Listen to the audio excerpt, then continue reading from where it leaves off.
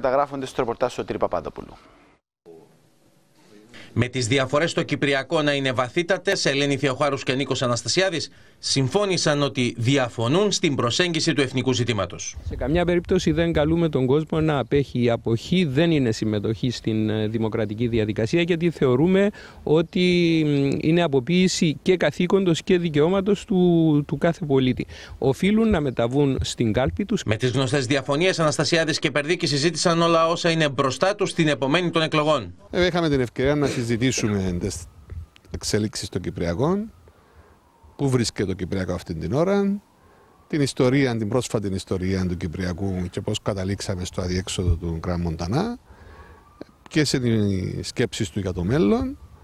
Ε, και βέβαια σημαντικά θέματα που αφορούν την οικονομία όπως το μέλλον των μη εξυπηρετούμενων δανείων. Νωρίτερα στα γραφεία των οικολόγων, ο Σταύρος Μαλάς άκουσε τις απόψεις του Γιώργου Περδίκη και των συνεργατών του με τις διαφορές να είναι εμφανείς. Η νέα κυβέρνηση θα πρέπει να έχει μια αναγκαστή συνεργασία με το Κοινοβούλιο και αν οι, οι δικές μας θέσεις είναι τέτοιες που ικανοποιούν για το κίνημα οικολόγων, είμαι σίγουρος ότι θα υπάρχει πεδίο έτσι ώστε να υποβοηθηθεί το έργο της διακυβέρνησης σε επίπεδο Κοινοβουλίου. Διευκρινήσεις πάνω στο πρόγραμμα του κ.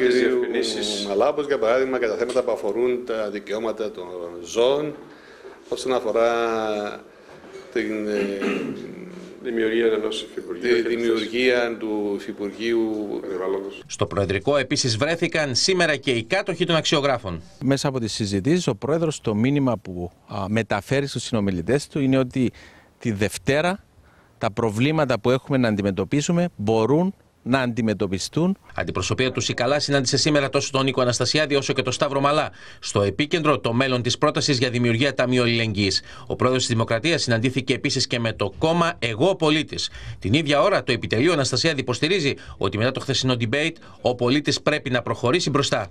Αυτός είναι ο πρόεδρός μας, ο Νίκος Αναστασιάδης, ο οποίος μέσα από μια συνενετική και συνενωτική πολιτική έχει αποδείξει στην πράξη ότι λειτουργεί αποτελεσματικά για το καλό του τόπου και για τον κάθε πολίτη ξεχωριστά. Το επιτελείο Μαλά από την πλευρά του υποστηρίζει ότι ο κύριος Αναστασιάδης διέψευσε στο χθεσινό βραδινό debate ότι το 2012-2013 η Ισραηλινή πλευρά είχε ισχυρή βούληση και πρότεινε την εξαγωγή του φυσικού αερίου μέσω Κύπρου.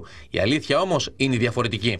Ο αναπληρωτής κυβερνητικός εκπρόσωπος Βίκτορας Παπαδόπουλος ανακοίνωσε στις 19 Ιουνίου 2013 ότι το Υπουργικό Συμβούλιο ενέκρινε σήμερα την απόφαση για υπογραφή μνημονίου συναντήληψης της Κυπριακής Δημοκρατίας με τις εταιρείες Nobel Energy International Limited, Delek Drilling Limited Partnership και Anvil Oil Exploration Limited Partnership για τον τερματικό σταθμό υγροποίησης φυσικού αερίου.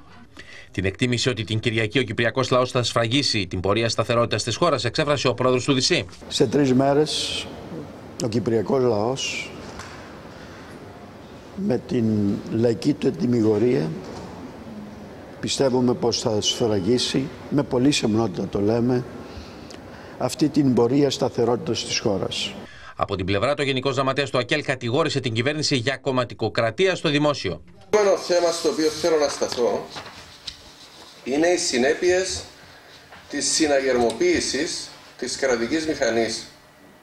Τα τελευταία χρόνια ο δημοκρατικός συναγερμός εφρόντισε σε κέρια απόσταση στη δημόσια υπηρεσία να διορίσει ηγετικά στελέχη του κόμματος. Την υποστήριξή τους στο Σταύρο Μαλά εξέφρασαν μέλη των ΕΔΗ, ενώ Νίκο Αναστασιάδη υποστηρίζει ο Κρίστ Τριανταφυλλίδης.